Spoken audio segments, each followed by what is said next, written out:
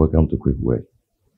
I want us to uh, take a look at um, the eternal counsel of God, the eternal purpose of God, the, the very reason for um, the activities of God in the Bible, the, the Godhead, Father, Son, Holy Spirit, the Godhead, um, we all know existed in eternity and uh, exists forever.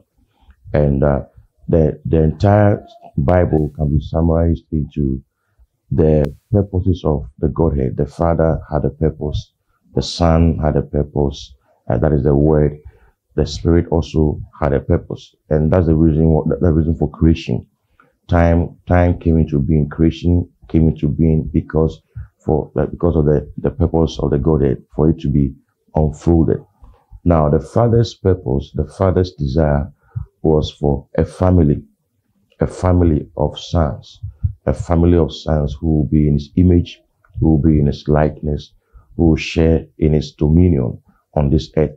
So you, you can look at the Bible from that theme, the father's desire for a son.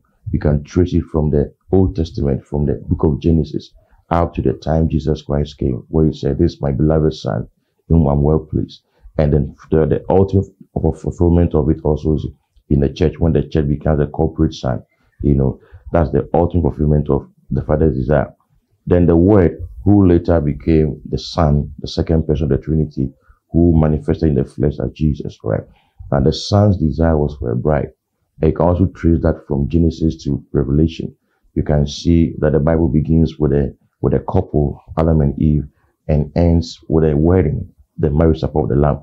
And you can trace it from that Genesis 2, Genesis 2 where it says, For this cause a man shall leave the father and mother and be joined to his wife, and the two shall become one flesh. We can trace it to the the the, uh, the time where uh, uh, uh, Jesus died, where the bride the bride was also formed, like Adam's bride was taken from his side, you know. Then the, the Lamb's bride, Jesus' bride, was taken from his side, you know. And then the church becomes the bride of of Christ. Bible says we are members of his body, of his flesh, and of his bones. Ephesians five thirty. Now Adam also referred to Eve as a bone of his bones and flesh of his flesh. So you, you see, you see the parallel. Now the spirit's desire was for a temple. And you can also see the story unfolding through the, the, the, the Old Testament from the very first uh, indication of a temple, the house of God was in Genesis 28, where um, Jacob took stone, anointed the stone and said, this Bethel, this place shall be called Bethel, the house, the house of God. And as you trace it, you see that Jesus Christ came to be the very temple of God. In, in the Old Testament, all the various temples, the tabernacle, the temples, and all that, they were all pictures of the real temple that God was, the Spirit was looking for. When Jesus Christ came, um, God, God left the old temple when He died, and now we we become the temple of the Holy Spirit. So First Peter two five says that we are being built together as a, as a habitation for the Spirit. You know, Ephesians 2 verse 21, 22 says that the, in whom the whole building faithfully joined together grows, grows, the whole building grows into a temple of the Spirit.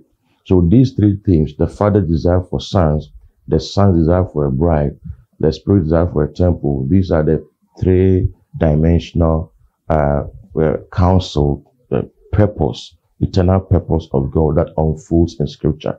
And I just wanted to give the overview. I will take time and then we'll take them one after the other and explain in subsequent uh, broadcast. God bless you. Thank you.